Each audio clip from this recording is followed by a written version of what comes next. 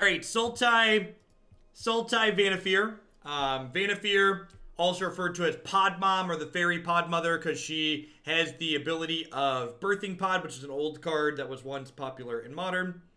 Um, just kind of traditional Sultai good stuff package. We've got the Wildgrowth Walker stuff. Notably, we're only playing three branchwalkers, but because we have Prime Speaker Vannifar, we're able to find our Explorer creatures pretty consistently. Um, Suite of Hostage Takers and Chupacabras, also some Golgari Findbrokers is a value 4-drop. Underrealm Lich, Biogenic Ooze with the Carney T at the top end. One card that, card that I'm a little bit suspect on here is Charnel Troll. The beginning of your upkeep, exile a creature card from your graveyard. If you do, put a 1-1 counter on this, otherwise sacrifice it. I think this card's a little bit hard to enable. The original deck submission for this actually had three copies of this card in it, and I think that's way too many. Will I'm gonna leave the one around to see if it's worth potting into, but like it's really awkward. This is like a three drop that you can't play on three most of the time, so I think having three of them is not ideal. Let's go ahead. We actually got all the way into Mythic this season, just playing viewer submitted decks and archetypes, which is really sweet. So let's go ahead and dive on into the ladder and see how it goes.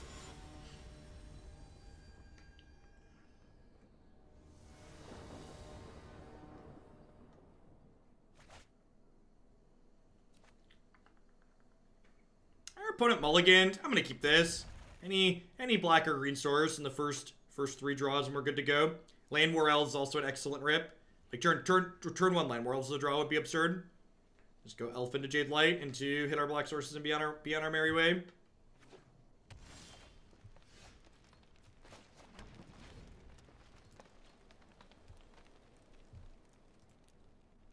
How far do you drop when the new season comes out? You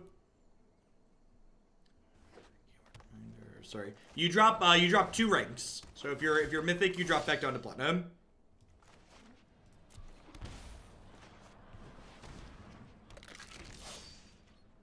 I did not see a change log for the update that happened. Yikes. This is not a not a good start for our hero. Second second Midnight Reaper also not fantastic. Neither of those are the lands I wanted for Christmas. They have, like, if they have a way to take the Jadelight Ranger out of play here, we're going to be in a lot of trouble.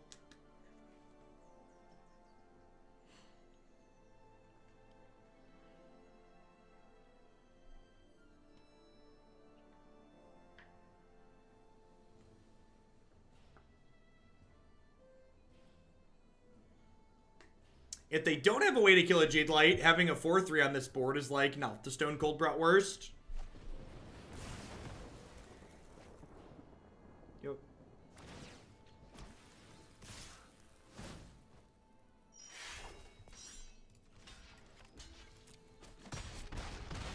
How many lands are we running? I think there's like 23.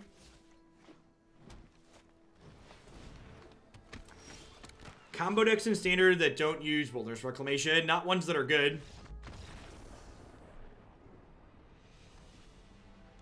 The beatings will continue until the morale improves. Yikes. Alright, we're gonna have to revisit this sideboard after this, uh after this game, I think the sideboard does not really have cards for the aggro matchup. There's no, there's no moment of cravings. There's no nothing. Is there a land in the sideboard? Did I click on that by mistake? Is there a land in the sideboard? Did I miss that? I looked at I looked at this deck last night. Was there an overgrown tomb in the sideboard that I missed? Did I misclick it? I must have misclicked it. Yeah, I misclicked it.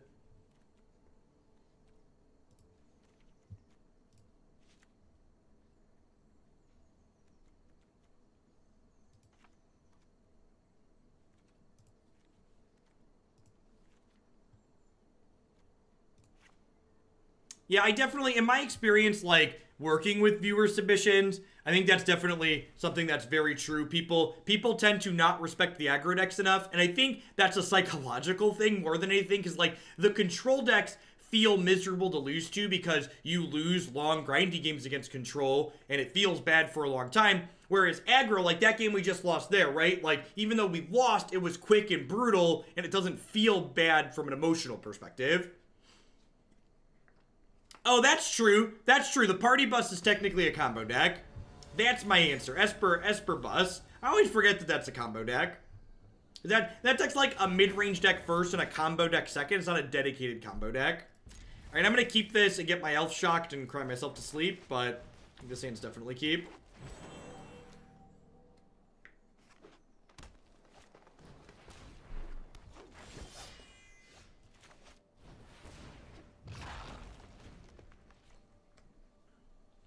The good news on the basic forest pelt collector here implies that my opponent is not a uh, is not a goblin chainwhirler deck. So that's nice.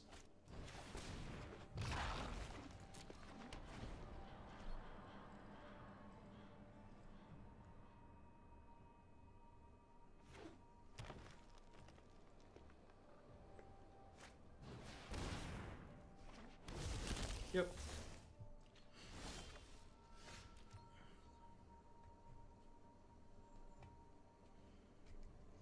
Huh? So they, they didn't have a removal spell for my Wildgrowth Walker. Do I want a Hostage Taker here? I probably just want to... I probably just want a Branchwalker. I think I just want to do this.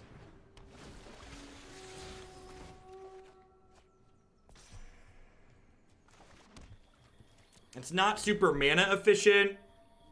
I think if I would have had the second Black Source already, I would have Chupacabra. But I don't really want a hostage taker and then, like, get it killed and have them get their thing back.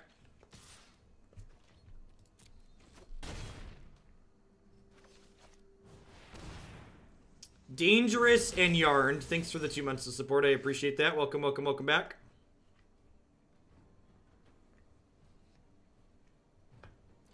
And Yarned. Um... They haven't had removal so far, right? I think I think I just play Prime Speaker Vannifar. Cause like if I if I kill this, this turns into a 4-4.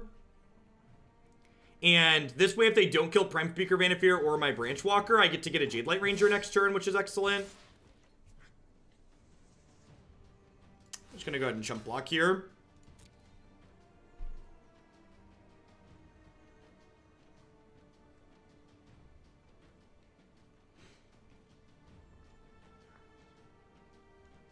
They have a Collision Colossus they're thinking of burning.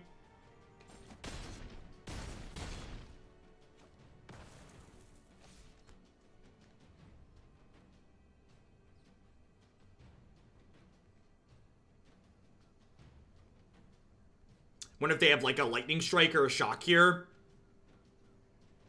That's the reason I didn't. I didn't block the wildgrowth walker to the pelt collectors. I wanted to play around lightning strike and shock. Well, that's just a Jadelight Ranger naturally, so I guess we'll do that.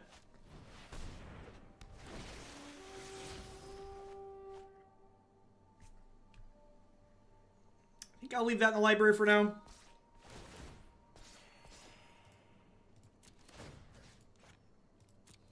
I'm going to pod this into a hostage taker. Take their 3-3 pelt collector.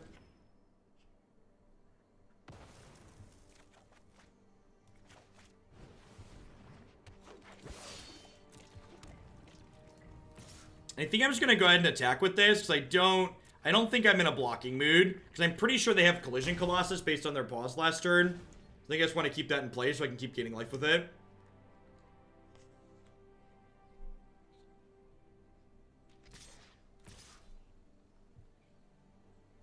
Just gonna run the no blocks here. Yeah, it, feel, it feels like we're in a good spot. Wildgrowth Walker is really good here, and Vannifar is just like a turbo, turbo Wildgrowth Walker, basically.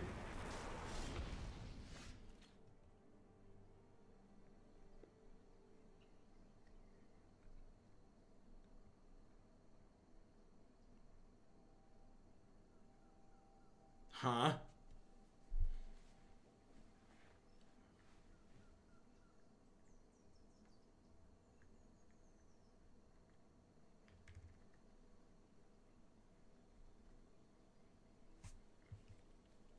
I think I'm just going to turn this into a branchwalker to start.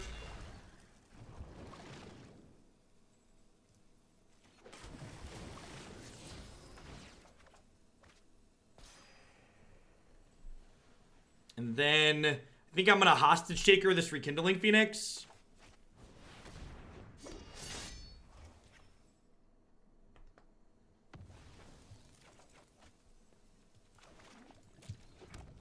And then I think my plan for this turn is block, double block.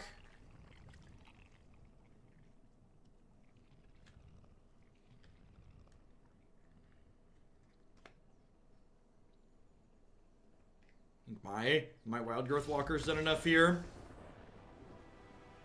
My opponent concurs the wildgrowth walker's done enough. I guess I probably want the Vraska's Contempt in my deck, huh? Is there one of those? Oh, it's already in my deck. These Midnight Reapers are really not that good. None of the other cards in my sideboard are good, though. I guess Disdainful Stroke could be okay. Seems hard to hold up, though.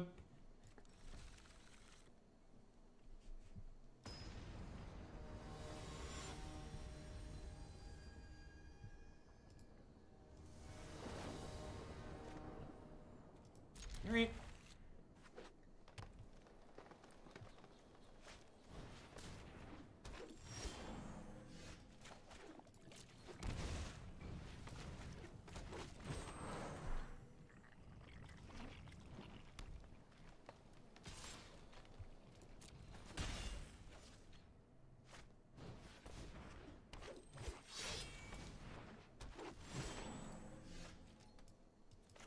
Alright, need this to find some black lands for us.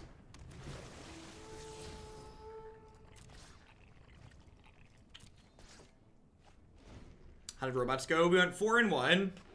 Experimental Frenzy wasn't particularly good, but the deck itself was great. Alright, well. The way our hand shaped up here is if we draw even a non-black land next turn, we get to get Biogenic Ooze down. As long as our opponent's missing on red mana, I think we're favored here.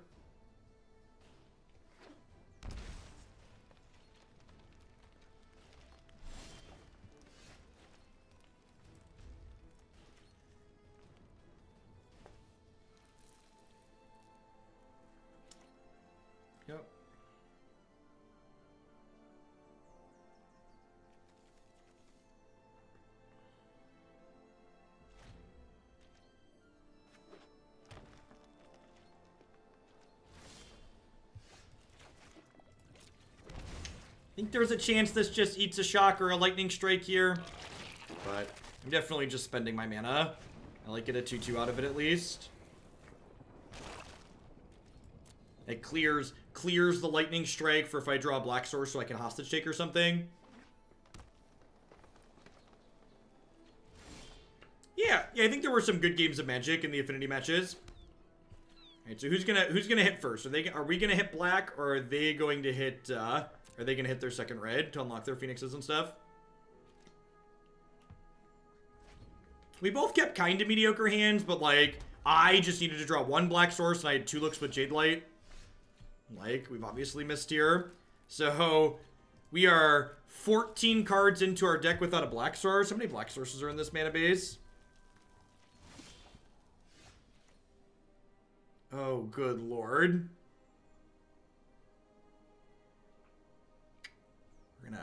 We're gonna take a peek at our mana after this game. Our mana, the mana base in this deck is not good. I did not. Listen, if you're submitting decks to the stream, please become familiar with this article here. Thankfully, our opponent's incredibly unlucky. Or kept a bad hand, one of the two. Maybe both. We're, we're definitely not really suffering from variance so much as we're suffering from bad deck building here. We're gonna take a peek at not only readjusting the sideboard for the aggro matchup, but also making the mana base more reasonable. Not surprised to see that die. Like, their hand is probably just a bunch of removal because they haven't been doing anything.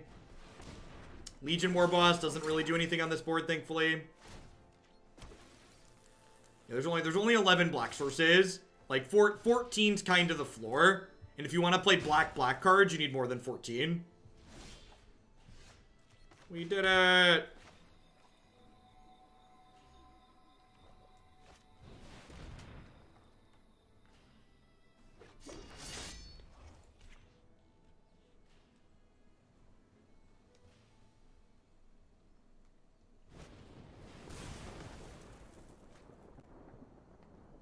Oopie dook.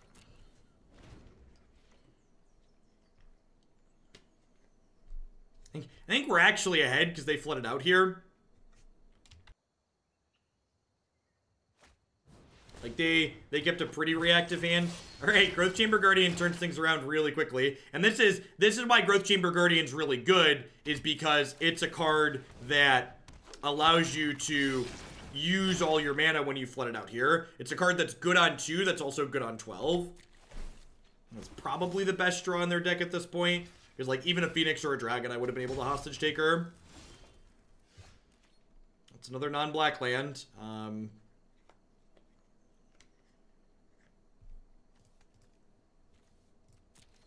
this takes black mana to activate, too.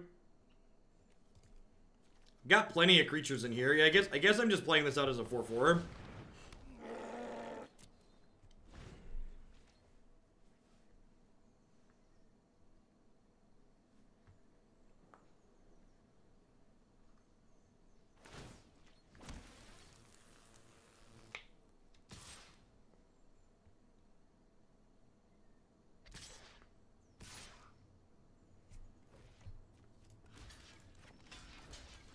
I just do this. I don't, don't want to trade my troll because my troll is going to turn into a 5-5 next turn.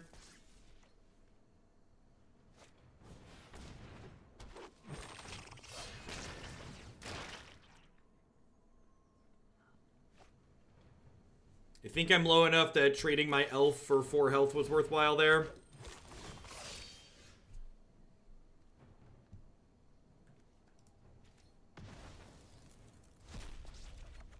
Troll does have plenty of food here, which is nice. Um, so I've got... Second black is great here. I've got five, six, seven. This is eight mana. I think I'm going to Hostage Taker, a Growth Chamber Guardian, play the Growth Chamber Guardian, play Reassembling Skeleton. I, I have nine with the Elf, technically. Hey, Bob. Howdy, howdy. Prophet gains life, but the problem with playing Prophet this turn is it can't block, and it it can't it can't block, and it doesn't. Um, it makes it means I can only play one spell this turn. I think it's pretty important that I play two spells this turn.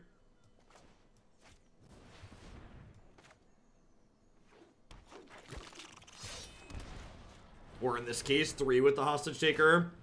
The problem with burning the hostage taker is like now I'm super soft to like a phoenix off the top. Like that was kind of my insurance plan, but I was too far behind on board to like be waiting on that still. So I have to hope they like draw some more blanks, and they've already drawn a lot of blanks, so like hoping for that plan is like not ideal. Well, their deck is also full of things like pelt collectors, so there's that.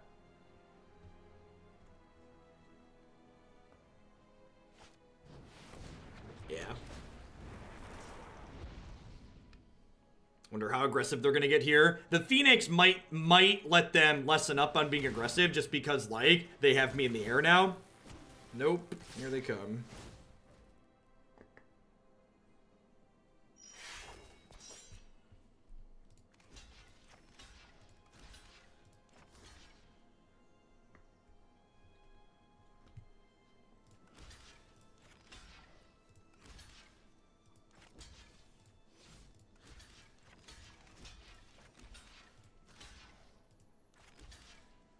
So if I do this, I'm going to keep this, this, this. And I'm going to take four on this combat. And they're going to lose this, this, this, and this. Midnight Reaper again, just looking super rancid. Wish I would have had a removal spell on my sideboard that I could have traded that out for. I think I think these are my best blocks. This lets me play Twilight Prophet, plus Fart Growth Chamber Guardian next turn.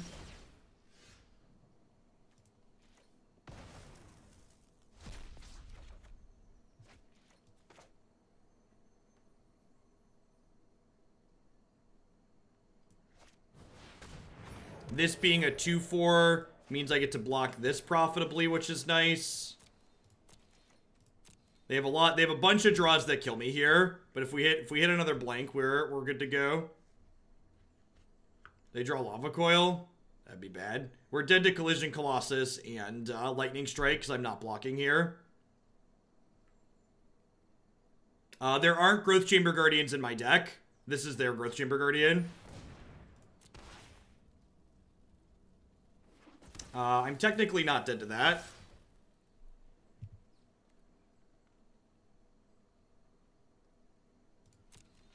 So I get to go eat, trade, bounce, chump, go to go to two.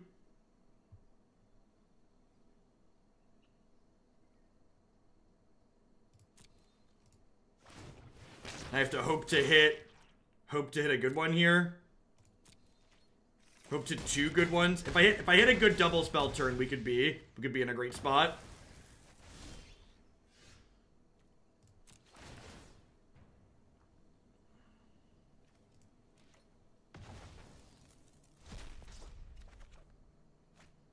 Needed that. Needed that to gain me life. If this if those had been in the opposite order, we'd have been in such a good spot here.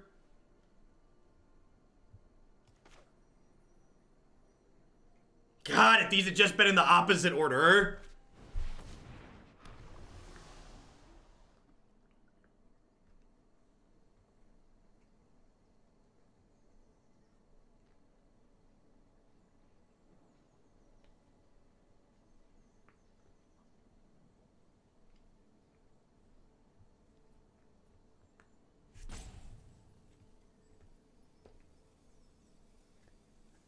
I can't I can't play Midnight Reaper, right?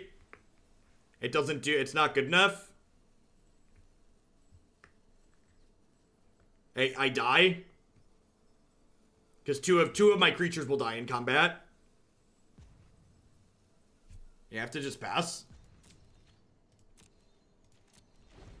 If this would have just put me above not having to chump block this, we'd have been okay.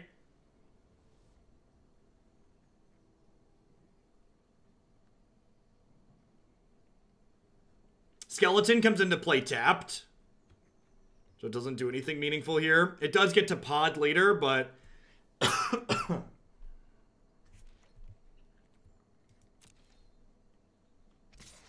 I agree. Tireless Tracker is wonderful. Yep. Yeah, like I said, if these two cards had just been in different spots, we'd have... Yep.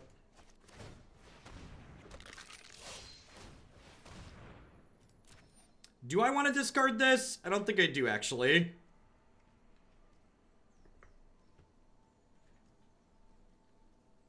I don't, actually.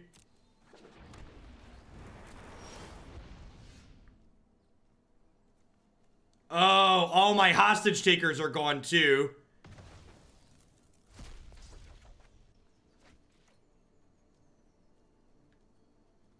Yeah, I was gonna get hostage taker, but they're all gone. All, three of them are in here.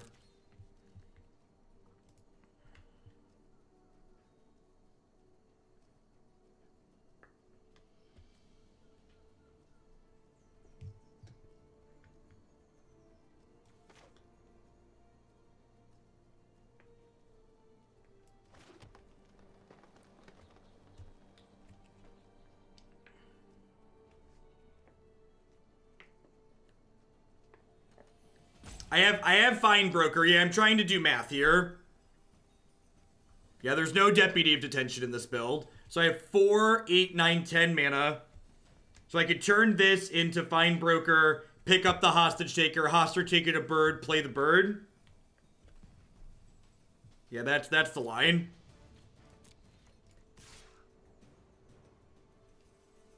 That leave me dead on board though? That might leave me dead. I don't actually know.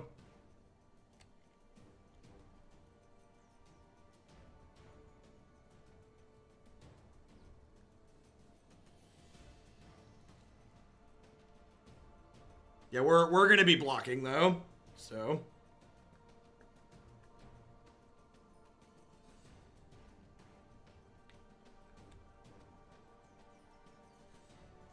I can't I can't get dual hostage takers. There's no hostage takers in my deck. I have to go get Findbroker, pick up hostage taker, play hostage taker.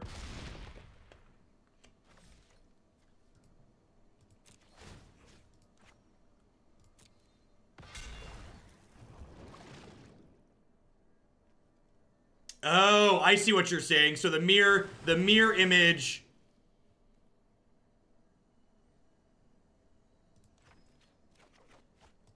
Yeah, huh.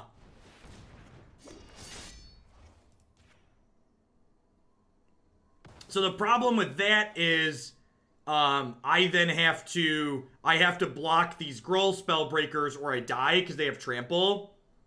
So if I if I mirror image to make a second hostage taker, I just die. Like I'll, I'll have to chump block next turn. I think I think I'm obligated to do this.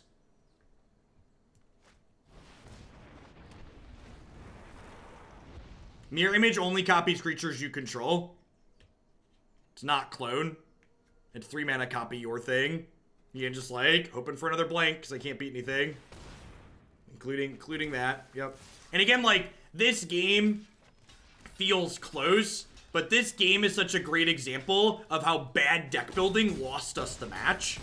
So we lost this match for a couple of reasons for the for the two primary reasons were one, this deck as built, I actually added more respect for aggro and it still wasn't enough. So if these Midnight Reapers in my deck had been cards with text boxes in that matchup, as opposed to a card I literally couldn't play because I was just dead if I cast it, um, I I would have been in that game because I just needed one more removal spell. If my mana base had a reasonable number of black sources in it, I would have been in that game because I would have been able to um, I would have been able to cast my spells sooner and like start leveraging my advantage before my health total was too low. So there were a couple couple of reasons why that ended up not working out in our favor. Let's uh, let's try and address some of those now by making some changes to the deck. All right, so this is black source number 12.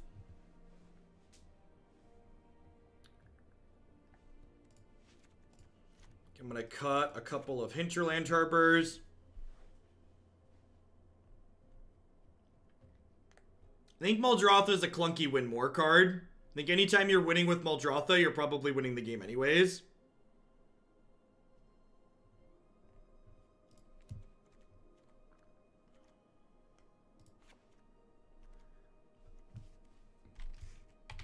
I mean, like, at the core, the deck is like a bunch of playable magic cards. I mean, it didn't it didn't even prioritize blue, right? Like this deck, this mana base has both low blue and black counts. It's just got too much green mana in it. So like even after cutting two green sources, I still have 12, 14, 17 green. I didn't cut blue sources. I just turned I turned other colors into things. The mana base had 12 blue to start, which probably isn't enough to support Frilled Mystic, you're right. I added I added black sources by cutting green. What's my favorite Vanasphere shell? In standard, probably Temur, followed closely by Bant, from what I've played so far. Yeah, 17's fine for Jadelight. We also have Llanowar Elves, which helps cast Jadelight also. Like with a number of double black cards, I think getting up to 14 black is probably good.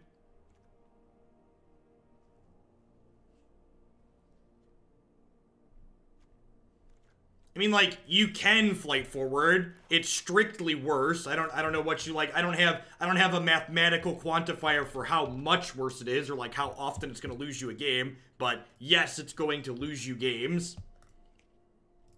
Obviously, for budget reasons, you can do it. Like it's better than not playing the deck, probably, but it is worse.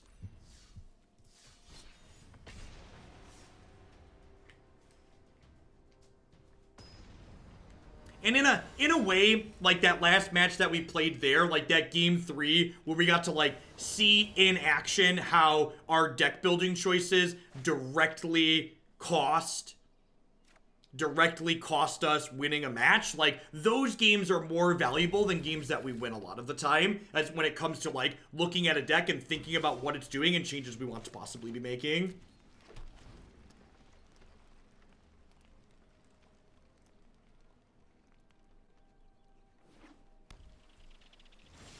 Fifteen months. Thank you, Animon, for the prime support. I appreciate that. And Mion. And Mion. And Mion. I might remember that. Maybe. For people that are suggesting cards for this deck, don't just say, would this card be good, and, and, and expect me to validate your idea. Instead, sell me on it. Put some effort into your thoughts. Say, Jeff, this card solves this problem that this deck has, and this is something that we could replace for it. The best way to approach tuning decks is, again, thinking about this is the problem we have, this is how I'm addressing that problem with the change I'm trying to make. Magic's a game where there's infinite cards almost, there's tons of combinations of all these cards, and you can't just, like, put cards in at random, because if you do that, you're always going to be changing cards at random. You, you want to have a goal for the changes that you're making.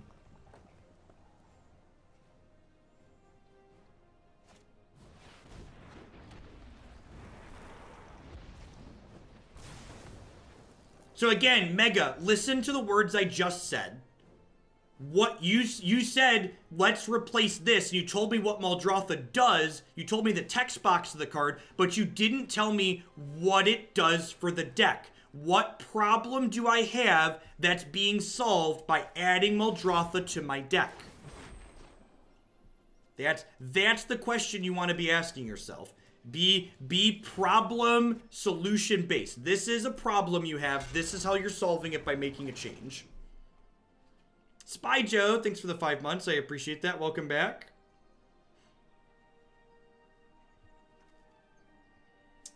I think I want to just grab Underrealm Lich here. I don't actually, now I'm going to grab Biogenic Ooze, it kills faster. I don't actually know that Underrealm Lich is good in this archetype. Just because, like, binning our random one-ofs that we want to be potting into seems kind of loose.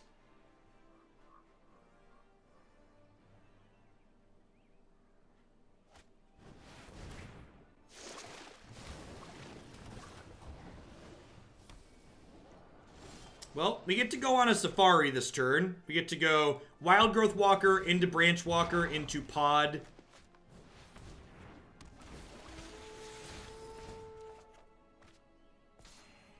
I mean, to be fair, that is pretty good just generic life advice, right, Troll? Pro be problem solution based. This is an issue. This is how you're trying to solve it. Uh...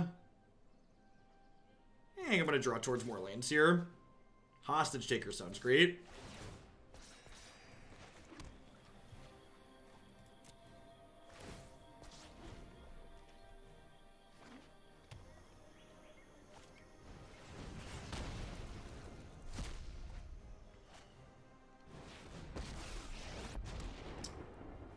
So it looked like they were some kind of Temur Reclamation deck to start, but now that looks to not be the case.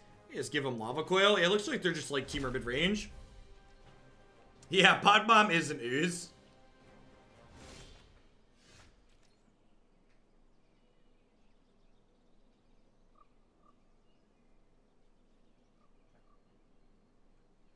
All right, what do I want to do here? I think I'm going to Jadelight to try and hit my land drop.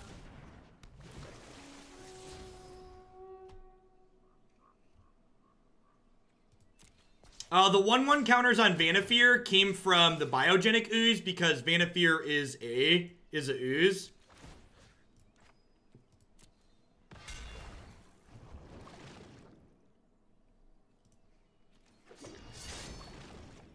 I'm gonna hostage taker Hydroid Krasis here. That'll that should bait their lava coil here. So I can trade one of my four power creatures for their Karn here, basically, which seems like a good trade for me. So like they get to they get to eat my four four with their Phoenix, but their Karn their Karn dies. That's a good good swap for us overall.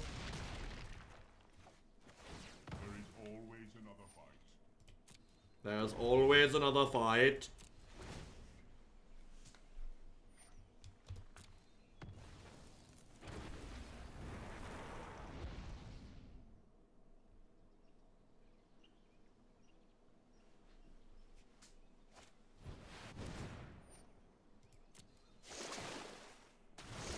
Really? They're leaving me the Hydroid Krasis? Deal?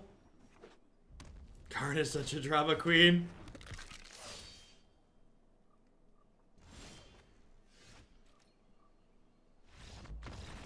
Yeah. Yeah, I think they're pretty far behind at this point.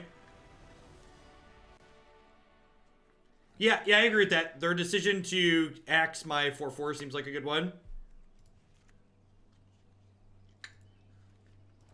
Trophy seems good. Vivien seems fine. Probably going to grind here a little bit. I'm not sure that I like Underrealm Lich in this deck. Honestly, I might just want a second Biogenic Ooze.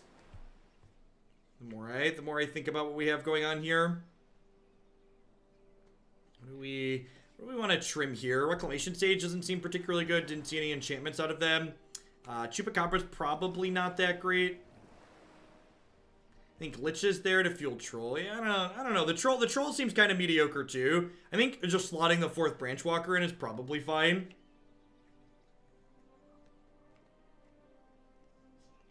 Yeah. Like having having a second use to go get in some matchups is definitely something we're interested in doing. Would Gutterbones be a good addition to the deck? The reason I'm suggesting it, it is quick play that we can pot into Wildgrowth Walker and Branchwalker, plus it's a recurring threat against slower decks. I don't I don't know. I feel like we aren't going to be getting it back that often because, like, in order to get Gutterbones back, um, you have to be attacking a little bit. We're not always attacking. And and again, like, I think this deck has a lot of good tools against slower decks. So while I agree that Gutterbones does what you're saying it does there, I again, I don't think you're addressing a problem that we have. Like, if anything, I think this deck is probably decent against the slower decks and needs help against the faster decks. So I don't I don't think it's this deck has this problem and we're fixing it by making this change.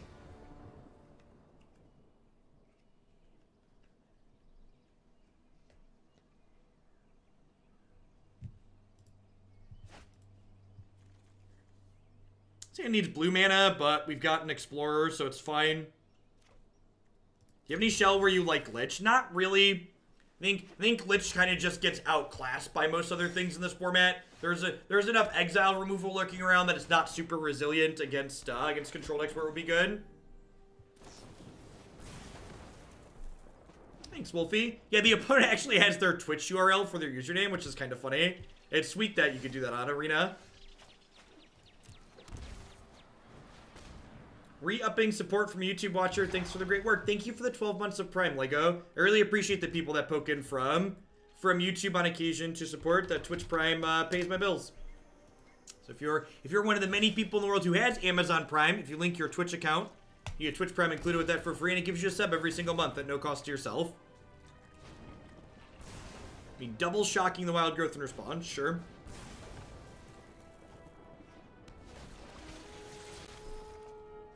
Problem deck isn't expensive enough. I'd agree with that. We can always, always make it cost more dollars.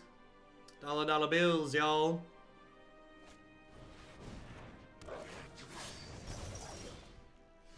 Chainwhirler's pretty good here. Puts up a solid brick wall against, uh, against our Jadelights.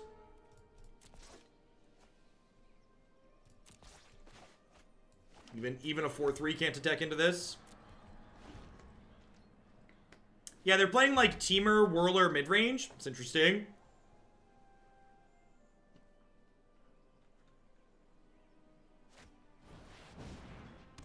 Yep. I'm just gonna play Vivien and start shipping her up here.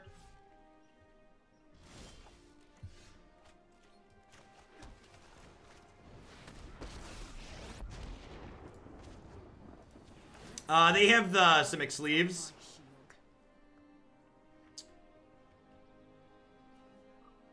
Take Wildgrowth here, and then next turn I can go Wildgrowth into Mirror Image on a Jadelight Ranger.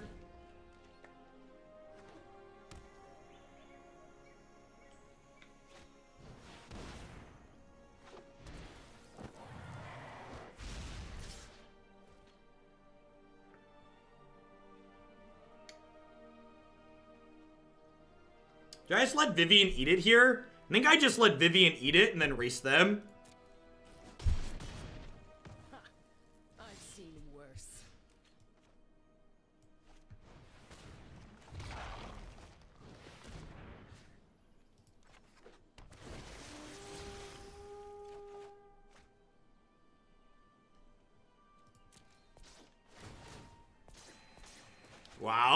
Look at this non-foil. This non-foil mirror image Jadelight Ranger. Makes me want to vomit.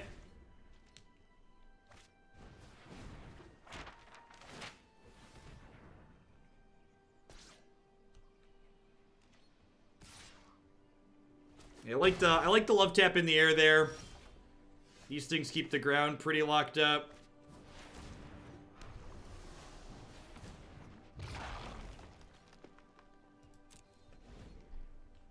She's, doing her best with what she's got, right?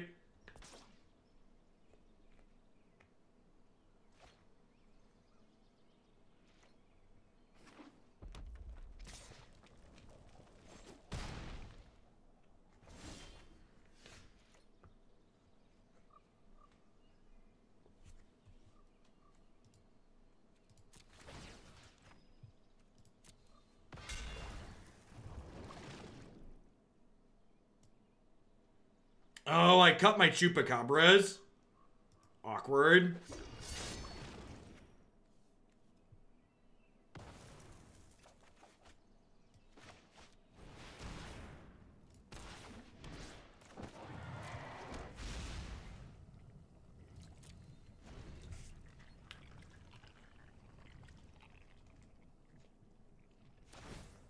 They showed us Banefire game one, which is something I kind of need to be conscious of here.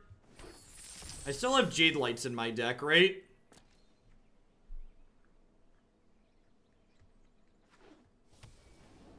I think I want to just make sure I don't die to Banefire by mistake.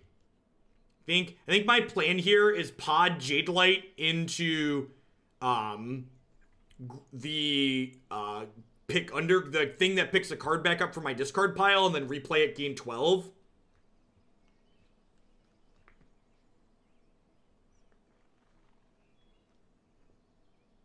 Findbroker, that's the card. It's on the, it's on the tip of my tongue.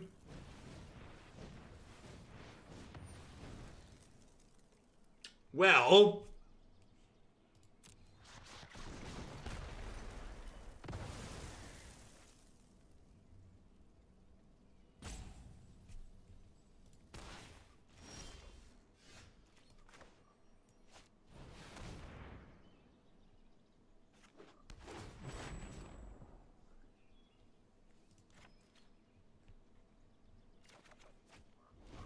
That was, an that was an uh, interesting interesting prompt.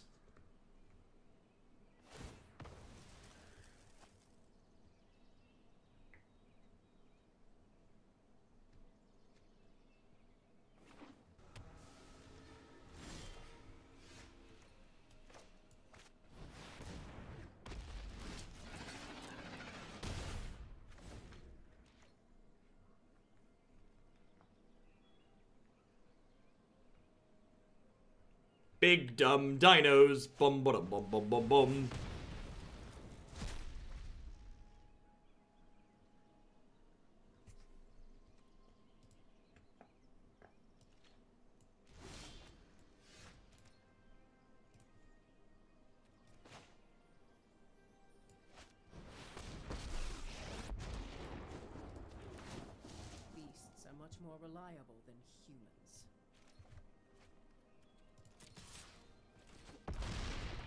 Love tap, baby, love tap, baby, baby, love tap.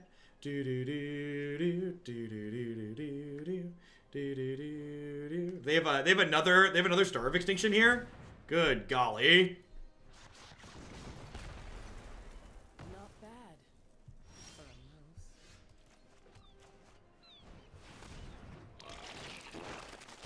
All right, double lethal threat. Go.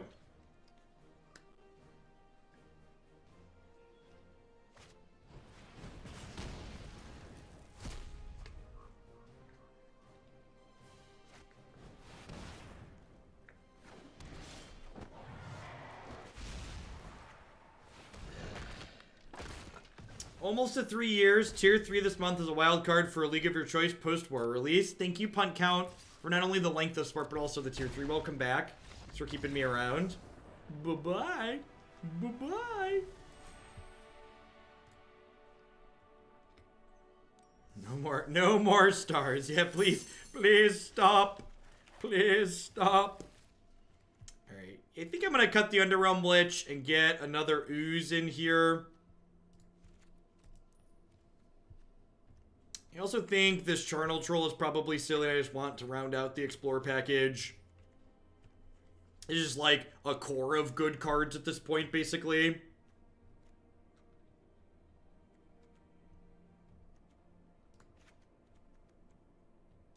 Ooze doesn't have a foil. It does have a foil. We just haven't haven't purchased it.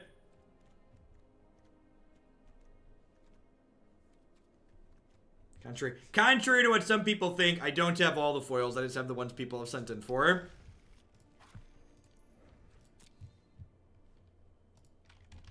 It'll be refreshing when the Explore package rotates. Things will open up. Incu incubation Druid plus uh, plus Growth Chamber Guard. It'll become the staple green green two drops most likely.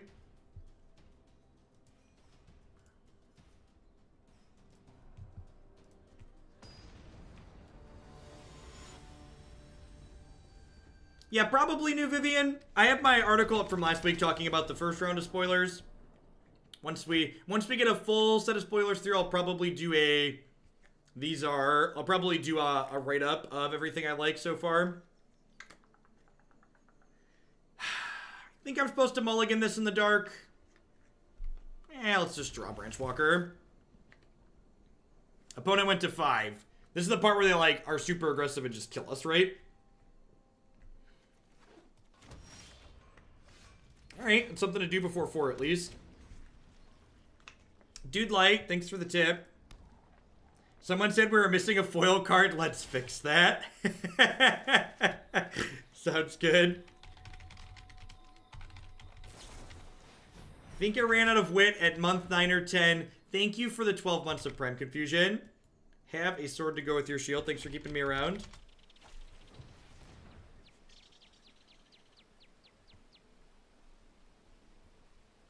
Yeah, yeah, the format will completely change when rotation happens. And the and the nice thing about the new non-rotating format is that people who love the current standard format will be able to keep playing it in a similar iteration when things rotate.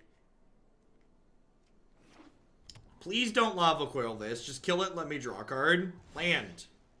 Alright, I mean like, that's like land adjacent, right?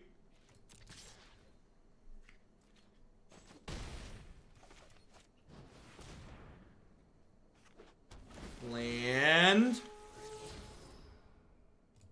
I think I have to bin that. I think I, I think I just need to need to hit some actual. Please Clary on me and let me draw two cards.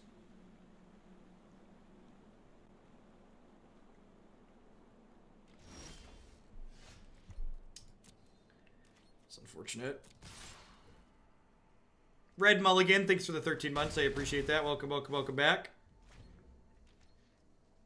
Worth worth noting, I did cut a green source for these drowned catacombs, so like, I guess I cut an island for one too, so this could have been the island.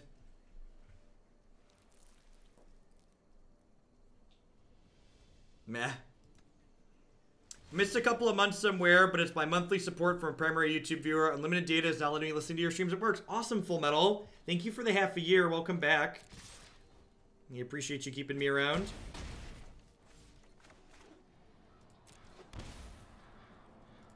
I think I find Broker here and pick my elf back up. Sure.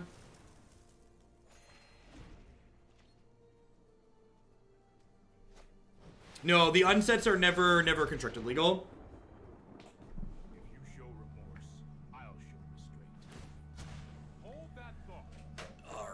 So Teferi's gonna be gonna be a distraction here. I guess they could have seal away. If they have seal away, their Teferi gets to live. They hadn't played that out just yet. Uh, I think I just get Vannifar down. Been housebound for five weeks after my liver donation surgery. You're helping me stay sane. Glad to be here, dear Hulk.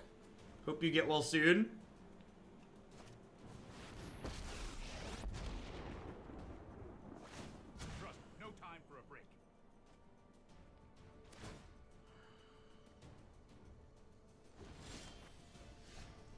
A lot of hostage takers.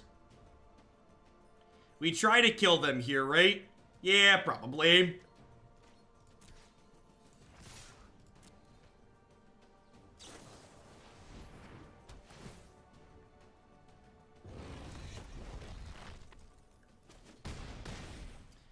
I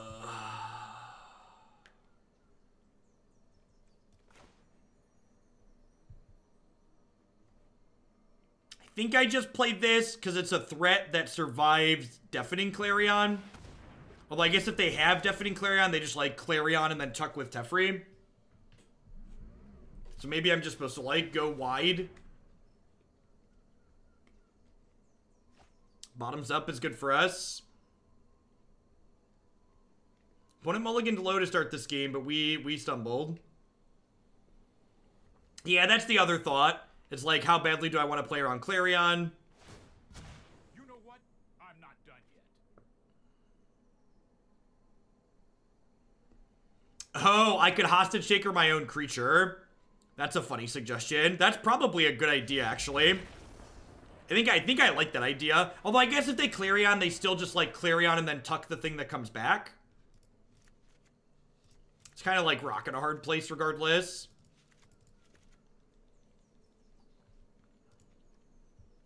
All right, so I'm going to cut the hostage takers. I'm going to leave one Chupacabra in my deck because I think there's a chance that my opponent has like Niv Mizzet or something like that. So I want to be able to get rid of that. Um, Reclamation Sage doesn't seem particularly good. Branch Walk or Wildgrowth Walker seems unnecessary. Or Lyra, yeah. Trim and Elfir. Maybe I don't want all these counterspells. I can see not wanting three counterspells. A lot of counters. It's also possible I like don't want all these contempts and these trophies. Maybe I'd prefer these and don't want all this expensive stuff. Let's try. Let's try this. Mirror image is actually probably pretty bad. I'm gonna leave the extra dog in just because I think killing their creatures is pretty important. I'm like potting through this up to Biogenicus is fine. Lyra, Lyra, never kind of scary post board.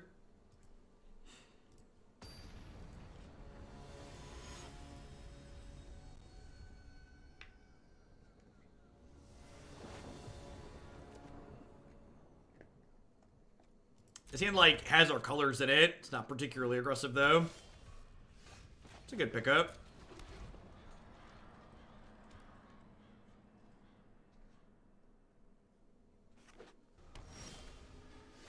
That is also a good draw.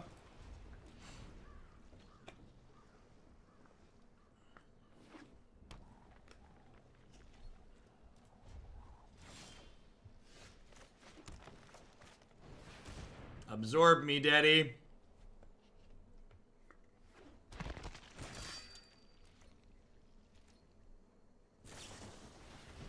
Sure.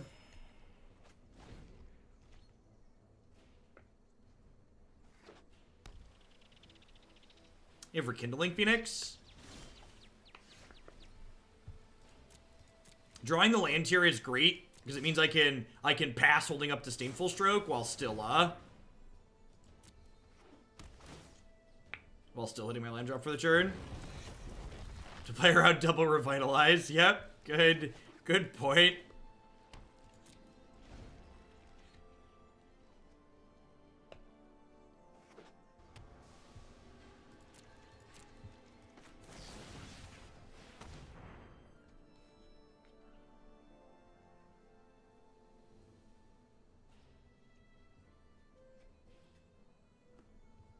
You're not singing today. You must not have, you must not have been here for very long. There's definitely been plenty of singing today.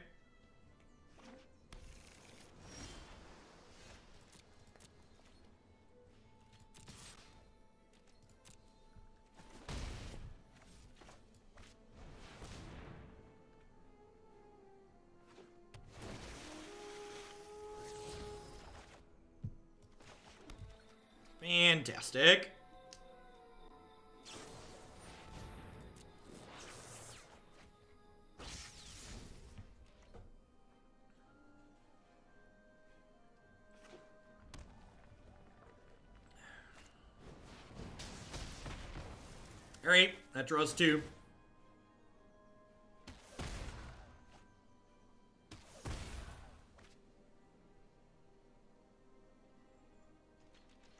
When would you ever consider countering a draw spell? Um, the primary reason to counter a draw spell is when they could draw a card with their draw spell that prevents you from winning the game the following turn that your counter spell can't counter. So for instance, if you have a negate and your opponent's out is a creature, countering their draw spell makes a lot of sense. Or, for example, if you have a disdainful stroke and their their draw spell costs four or more and their out costs three or less, then countering their draw spell can make sense if you're killing on the following turn. In in general, countering the draw spells as opposed to countering their their real payoffs like Teferi tends to not be a good idea though in my experience. What about syncopate on the first game? It's like, yeah, maybe. It depends on the it depends on the texture of your hand. Like, obviously, Magic's a super complicated game, and there aren't really hard and fast, always do this, never do that rules. Or if there are people telling you that there are, those people probably aren't very good at the game and don't understand.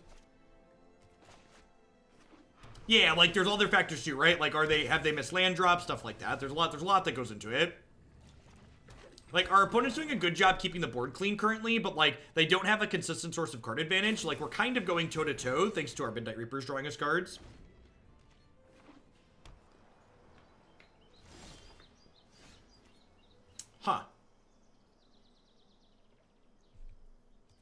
Think I'm going to start with this. See what happens.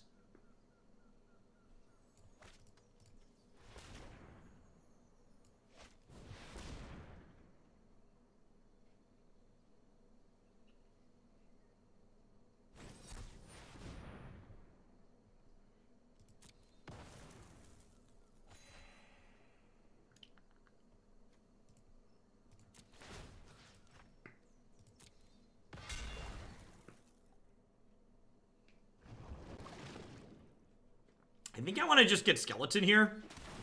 Skeleton. Skeleton is, like, uniquely annoying in this matchup for my opponent.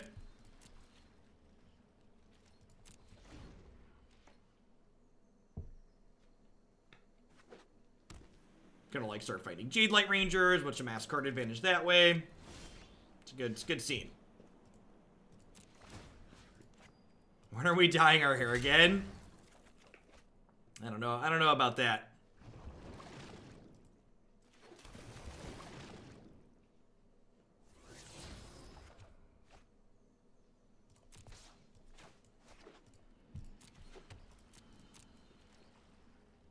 Like sit here and accrue value. This is going to come back into play. This gets to turn into a Golgari Findbroker next turn.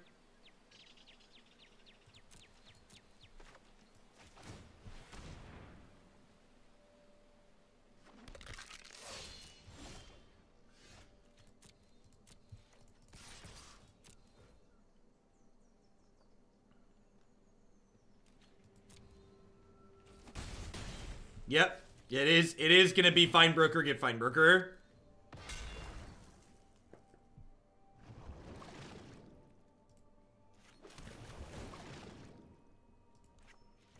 The old, the old 3-4 Eternal Witness loops.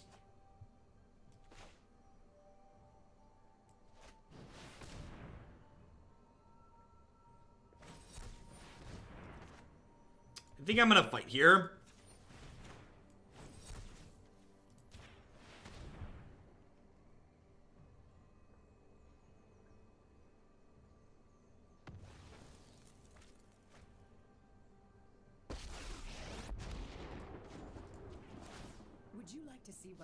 Come to me. Come to me.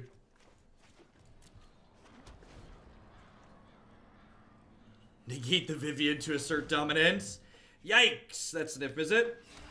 I guess I guess I have Vivien play. Depends on depends on what their hand is, right? Depending depending on their hand, we could be in trouble here. Like Clarion gets real good here at this point.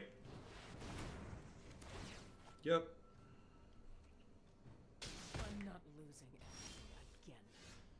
Wait, what? Did they misclick? They must have misclicked.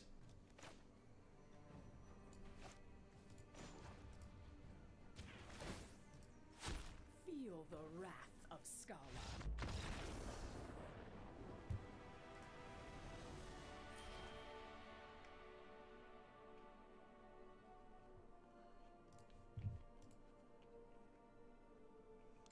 I managed to misclick that, and I thought it never happened to me. Yep.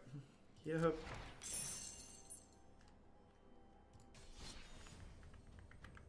Let's play. Let's play one more. I feel like we've gotten to a pretty okay spot. Feels like feels like we ended up in an okay spot.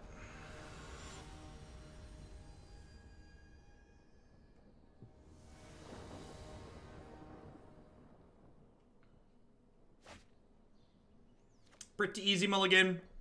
Spells look great, but don't they always when you have six of them?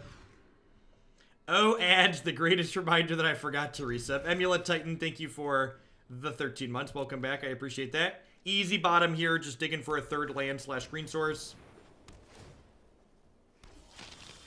Merfolk Branchwalker or some other two drop would be ideal. Draw two now. Does Twilight Prophet have? Oh, I forgot to make my I forgot to make my ooze pretty. Ooze pretty. Really want a two drop here.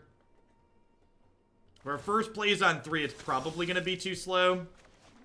I guess their their start's kind of kind of medium here too. So we're hoping this Jadelight drags us into a fourth land and also a black source. They didn't have a two mana play last turn, so they could have uh, History of Benalia, sure. Right on time, Merfolk Branchwalker. Welcome to the party. I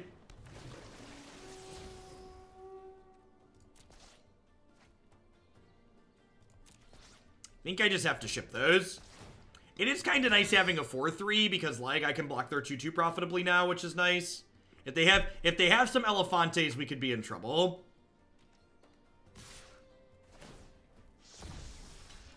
Alright, I'll take the free eats. They really wanted to flip this over. So important that they wanted to throw their knight away there. Just another history, okay.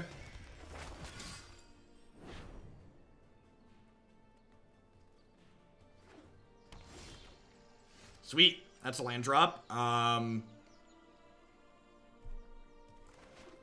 Who let the dogs out? Who? Who? Who? Who? Who let the dogs out? Ooh, ooh, ooh, ooh. That one, that one's for Marty. I haven't, I haven't sang that song on stream before, so I like to, I like to mix it up and make Marty add new songs to this thing every once in a while.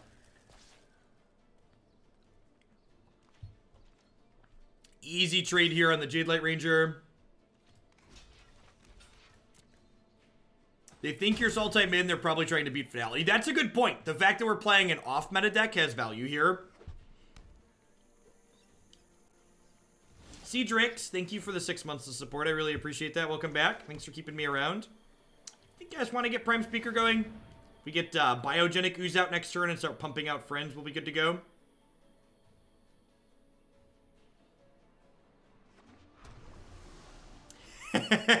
you've been you've been conditioned, Swift. You've been you've been thoroughly conditioned.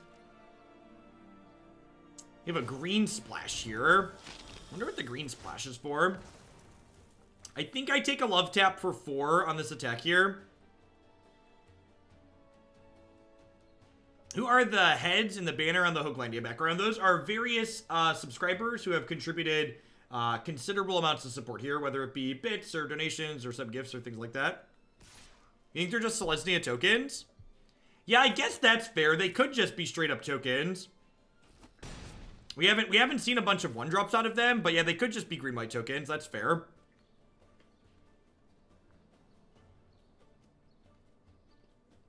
Makes it makes uh, hostage taker a, a little bit worse.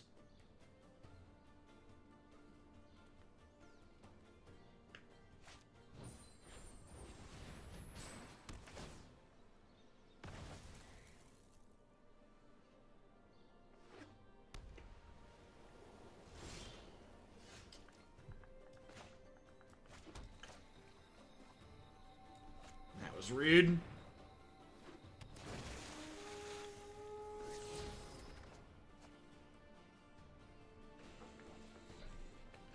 So, I think because they're likely playing Trostani, I'm going to play the Hostage Taker now and exile the 2-2 token, saving the the other dog to exile to eat a Trostani should they hit it. The fact that they hit the removal spell for the for the Prime Speaker here puts us a little bit behind. We're currently ahead on board, but their board's getting guaranteed better with the first fort every turn. Whereas Prime Speaker was going to be our source to gaining card advantage. So we're really hoping to draw like Biogenic Ooze or another Prime Speaker or something like that here. Dawn of Hope. Good lord. They are about to bury us in a box in the ground. Yikes. That is incredibly good here. So I get to I get to eat two of these tokens, but they get to pay four and draw two cards. So yeah, uh, that's probably lights out for us. That explains why their start wasn't that aggressive though. Because like if they're playing things like Dawn of Hope, their deck's probably a little bit slower and more grindy than the average tokens deck. Happy Kasim, thanks for the three months. I appreciate the quarter of a year. Welcome back. Thanks for keeping me around. Would love to draw Reclamation Sage here. Reclamation Sage would let me kill this, get my Prime Speaker back, and then Prime Speaker would turn Sage into Findbroker. About just a Findbroker. I guess I guess I Findbroker into Jadelight here, just like Dig Deep.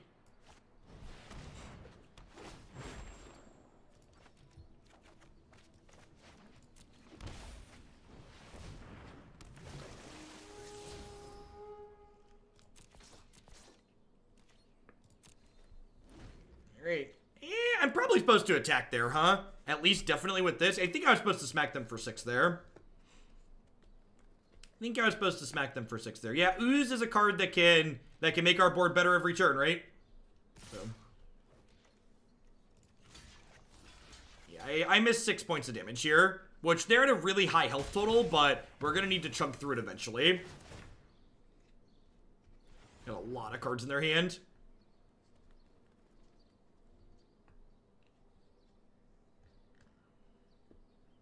Our our route to victory this game, missing the six points of damage is super relevant because our route to victory likely isn't from grinding them out as much as it's going to be pressuring them off the table.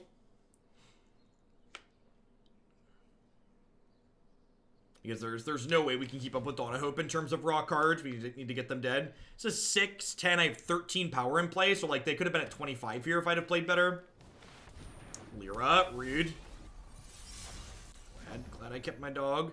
I guess I guess I'm getting kind of punished for using the hostage taker aggressively since they have a Lyra here, but Chaotic joystick, thank you for the two month resub. I appreciate that. Welcome, welcome, welcome back. Thanks for keeping me around. Hoping to fade another biggity bomb like Lyra.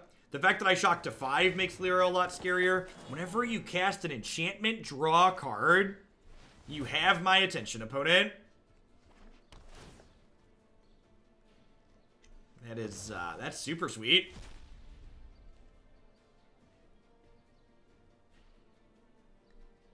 Six hundred eighty-eight viewers seems low for a Wednesday. Well, my ticker currently says we have twelve hundred people. So you're right. Six hundred would be super low for a Wednesday, but 12 1200 is about average.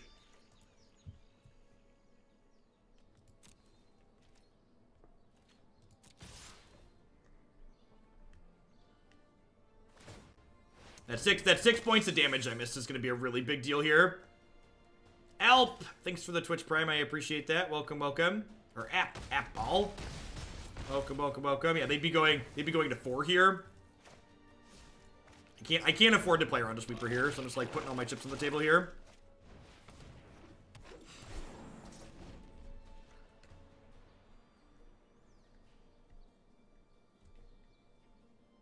What did you get me for our anniversary? 28's not a special number, Bob. I'll get you I'll get you a nice plot of land for 36. So they have uh, 7, 8, 9, 10, 11. So notably, they can only make uh, two tokens here. They can't make a third yet.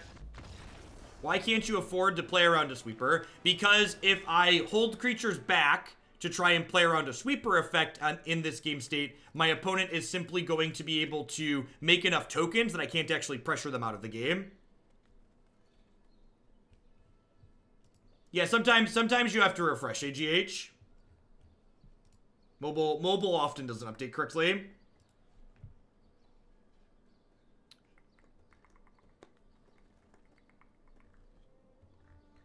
Do I want to trim here? I feel like Hostage Taker is probably a liability. Like, the odds they don't have Trostani in their 75 is, like, absurdly low, right?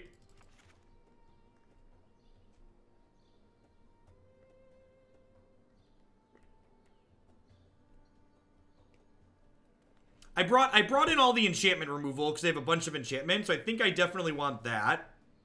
Midnight Reaper seems fine for grinding out the longer games too. Although, one of the things with Midnight Reaper, we don't have a ton of ways to gain life, but I guess Wildgrowth Walker covers that. Eh, anyway, Twilight Prophet too, it's probably fine.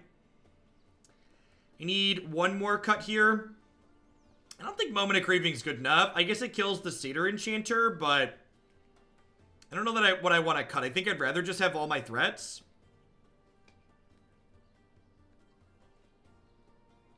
Maybe Carnage of Tyrant is just too expensive at the top end. Biogenic Ooze is probably as big as I need to go.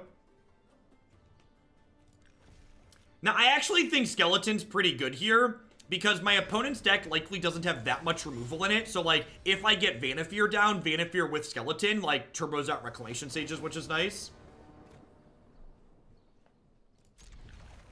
Opponent's deck doesn't seem particularly aggressive, so keeping, uh, keeping a slow hand like this seems fine.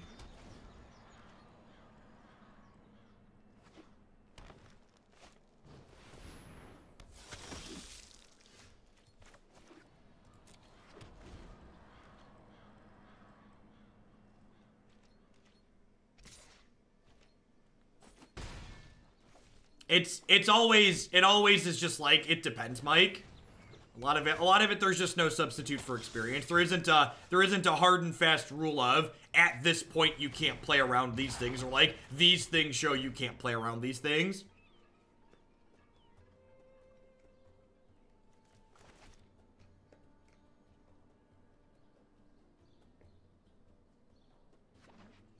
Is it just win more in shells that have high value? No, I don't think so. I think having a way to, like, draw extra cards seems fine. Especially attached to a creature body.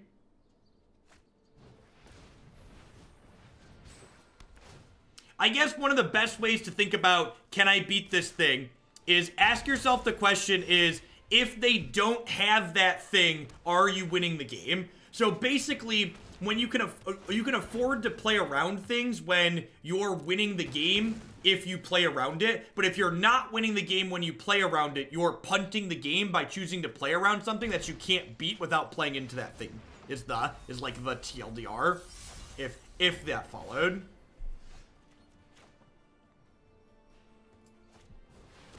Kinda wish I would have hit the land for the Vivien, but seems like we're in a pretty good spot here regardless. Our card quality just gonna pull us through here.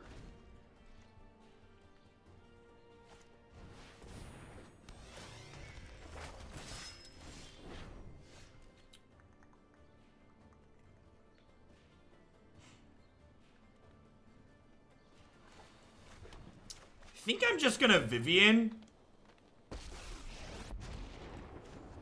So, like, I kind of want a Jadelight Ranger here to, like, buffer my health total up. But at the same time, um...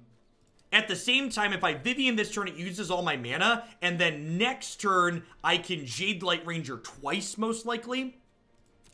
So it's more, it's far more mana efficient to do it this way, and my opponent's like not super pressuring me this turn, which is fine. Why not kill their Legion's Landing? Why do I care about their Legion's Landing? What is, what is Legion's Landing doing that's meaningful? Like, like if anything, Legion's Landing is making them make an attack like this, which is just like, good for me. Like Legion, like, sure, they flipped their Legion's Landing, but they threw their board away, so it's like, did this did, did it, did it, does it really matter? Why, why would I need a sweeper in the sideboard? What problem does this deck have that you're solving by adding a sweeper to it? Balance comes. Oh, I should have grabbed the Woodland Cemetery. Whatever, it really doesn't matter.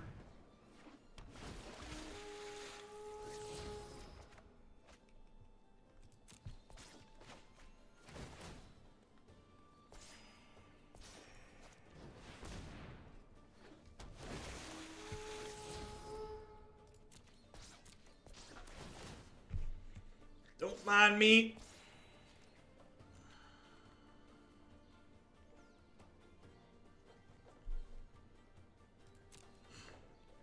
History Benalia is going to pop off this turn.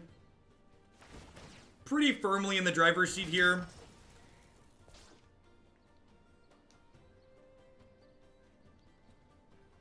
I don't think so, Polly, because, like, that means if, like, the Jadelight puts a creature on top of my deck that I want to keep there, the Vivien then has to go past it if it misses on a land. So, so you're positing you think the tokens deck's a bad matchup for us then, Pop? Why do you think the tokens deck is a bad matchup? Why do you why do you think the tokens deck is something that we need extra help in? Would be would be my question.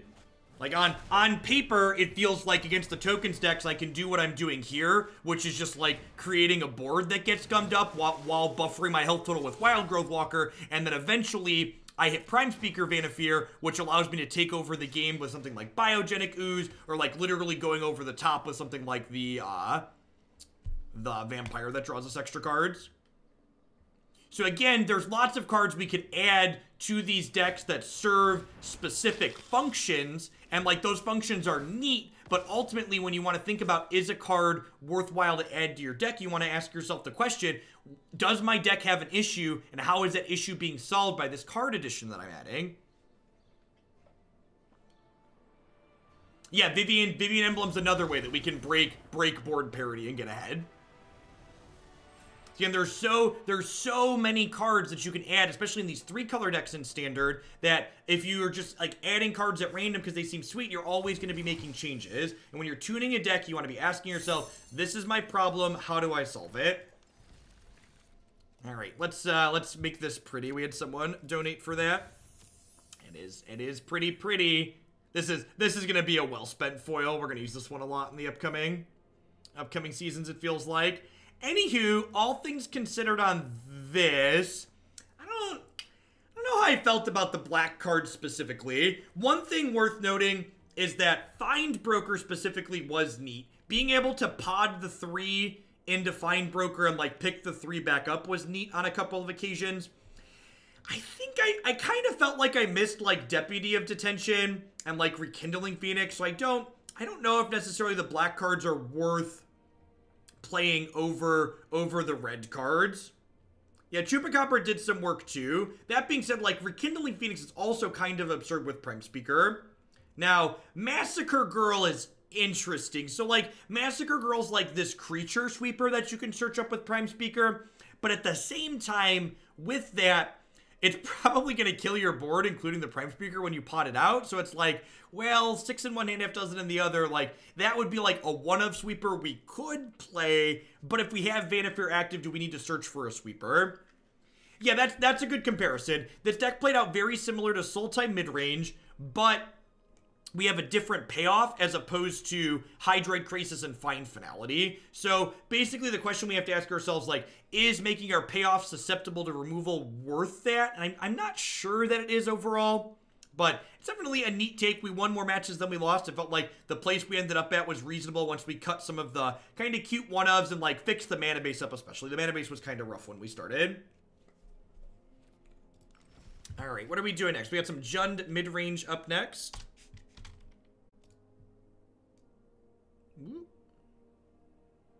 Hey, VX, thank you for the four month resub.